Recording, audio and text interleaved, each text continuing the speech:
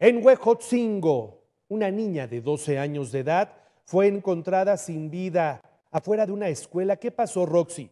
Buena tarde, voy contigo. Carlos, muy buenas tardes. Qué lamentable tener que comunicar este tipo de acontecimientos y de verdad qué triste y sobre todo qué preocupante. Nosotros nos encontramos hoy en el municipio de Huejotzingo, justamente muy cerca del Centro Escolar Profesor Enrique Martínez. Y es que ayer fue hallada sin vida una menor de edad de 12 años, alumna precisamente este centro escolar del nivel secundaria. Alison Santiago salió de su escuela, sus familiares, sus amigos reportan que esta menor que iba en segundo de secundaria salió de su escuela como todos los días se dirigía a su casa. Señalan que se fue con sus amigas como era de costumbre para llegar a su hogar.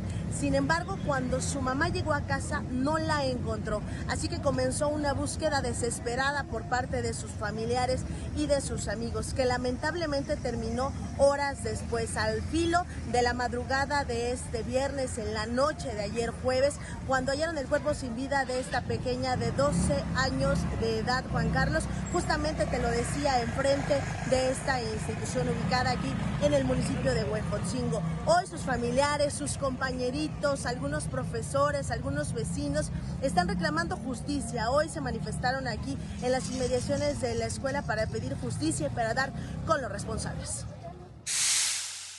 Lo que más queremos es que se haga justicia porque pasa como en todos otros casos, que la autoridad ve, sabe y no hace nada.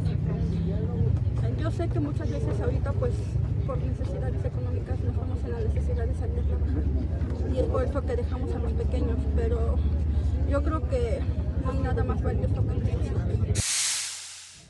Juan Carlos, ahí lo tienes, un hecho lamentable, una historia de verdad terrible y bueno, que deja solamente mucha sed de justicia por parte de los familiares y de los amigos y compañeros de esta pequeña niña de 12 años, Alison Santiago, que hoy, bueno, ya no está con sus familiares debido a este hecho tan lamentable. Juan Carlos, estaremos muy al pendiente para darle seguimiento a esta historia y la presentaremos en los próximos días. Regreso contigo.